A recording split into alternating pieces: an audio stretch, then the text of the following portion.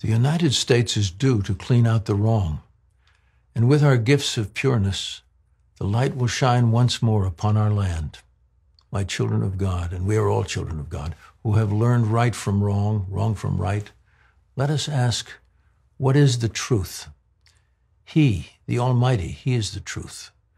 Because, my friends, He shall wake you up in the morning and tuck you to sleep at night. And when we sleep, our darkness awakens. This is now where the truth can be reached. Our land is in danger, and the left extremists are destroying as we speak. We must stop this darkness, for this is not God's, this is evil. We must wipe away with holy water and, and wish, wish for all to repent. There will be a time in history when all will look back and remember this disaster as a lesson, and each lesson is a growth. Let us take the hands of God, Moses, Jesus, and all saints. Let us pray. And we must hold President Trump, we must hold his hands and bless them to carry this torch to the end of time.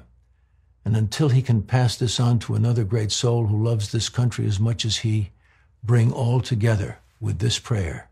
Let it be a chain of love and not despair. Let it be God's love not looting. Let our nation shine with her glory. Let, let her stand tall as she's meant to be. And we, as a nation of God's children, must sacrifice ego with truths, because this must stop, this behavior of evil among the radical side. And we must salute the red, white, and blue. This is now crucial. And the President of the United States of America has many against him. Though he is strong, we must fight for him as well. So let us vote for Trump 2020. Let us find peace now. Let us find a way to rejoice in this turmoil that has been given to Earth's plane. Our turn now to override such disaster.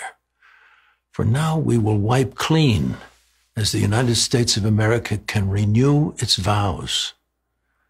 God, Wipe away this burden upon our land and bring your hands to bless her so her mighty power can replenish earth's waters as she shall grow anew.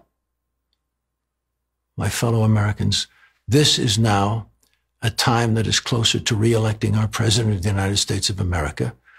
And with your help and your love, we must vote Donald Trump for another term because, my friends, he shall stand with us all and make this land great again. We must not be so naive to this propaganda of such deceitful lies.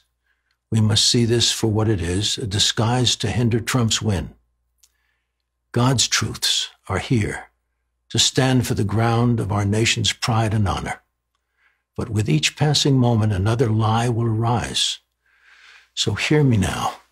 Listen to what I say, what God would say. Our land is in danger with left liberal thinkers, but God's love is not. We must all come together as God would want.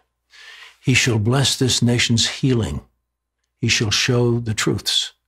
So I ask all, drop your swords of such ego and let our nation prevail. Let her heal.